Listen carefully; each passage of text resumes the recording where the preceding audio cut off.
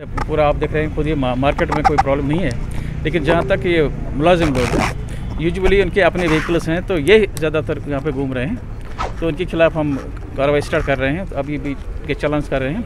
और हम इंश्योर करेंगे कि एसेंशियल सर्विसेज़ फ़ंक्शन करें इसमें।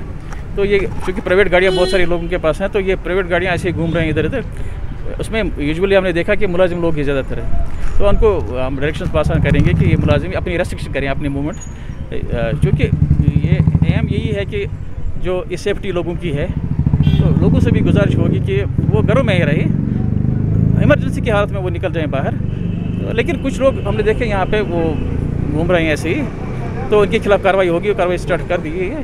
तो हम इंश्योर करेंगे कि लॉकडाउन पूरा हो। एडी साहब कहीं ना कहीं ये दिख रहा है कि एस के जो यहाँ पर अवेयरनेस होनी चाहिए वो नहीं हो रही क्योंकि हाँ। हमने देखा कि लोग ऐसे ही निकल रहे हैं। तो ये आप समझ रहे हैं नहीं, कि ये अवेयरनेस की कमी है? नहीं नहीं अवेयरनेस की कमी नहीं है क्योंकि अवेयरनेस एक साल से हम यही काम कर रहे हैं। अगर देखेंगे आप पिछले मार्च से ये चल रहा है। लोग अवेयर हैं इसमें।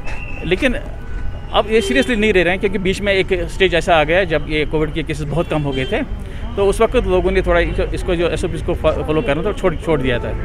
अब ये फिर ये उसको, हम कर रहे हैं लेकिन अवेयरनेस की कमी नहीं है। लेकिन तब भी हम अवेयरनेस करते रहते हैं। मतलब अगर देखिए आप देखेंगे गाड़ियाँ चलती हैं वो बता रही हैं उनको कि उनको क्या फॉलो करना है। को, कौन अलाव है कौन नहीं अलाव है लेकिन लोगों से गुजारिश है कि वो अपने ये इन, इनकी सेफ्टी के लिए है। ये कोई ऐसी बात नहीं है इनकी सेफ्टी के लिए हम कर रहे हैं ये। तो बाकी ये उनके हाथ में ही है कि ज़्यादा करेंगे लेकिन हमारी तरफ़ से कोशिश रहेगी जो फॉलो नहीं करेंगे तो उनके खिलाफ सख्ती से फॉलो करने की उनको या हम इजाज़त नहीं देंगे कि इनको ये वो फॉलो नहीं करेंगे।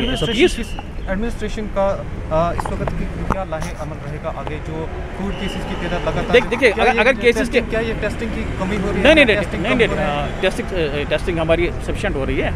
टेस्टिंग की कोई बात नहीं है लेकिन केसेस बहुत ज़्यादा आ रहे हैं तो जब तक ये केसेस की तादाद जो कम हो जाएगी तो अकॉर्डिंगली तो फिर गवर्नमेंट फैसला करेगी कि उसको आगे कैसे चलाया जाएगा। सर आखिरी सवाल मेरा वैक्सीनेशन के हवाले से आ, लोगों के लिए लोगों के मन में कहीं ना कहीं आशंका है और किस हद तक अभी वैक्सीनेशन ठीक ठाक कपारा में है या अभी कुछ और करने की ज़रूरत है? नहीं नहीं वैक्सीनेशन बीच में एक दो दिन थोड़ी शार्टेज रही लेकिन अब फिर वो हो गई है।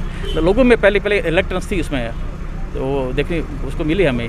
लेकिन अब लोग अच्छी तरह से अवेयर हैं उनको पता चल रहा है कि किससे क्या फ़ायदे हैं। तो अब लोग आ रहे हैं बहुत बहुत लोग मतलब बहुत लोग आ रहे हैं और वो वॉल्टरली ये वैक्सीनेशन करा रहे की तरफ़ से होगी कि इनकी सेफ्टी के लिए है घरों में रहिए इमरजेंसी की सूरत में बाहर निकलिए अन्य बाज़ार में घूमने की ज़रूरत नहीं है। तो ये ये इनकी सेफ्टी के लिए है। हम चाहते हैं कि ये केसेस जल्दी से कम हो जाएँ और लोगों की जो मुश्किल हैं ये भी कम हो जाएँगे उसके साथ। Thank you so much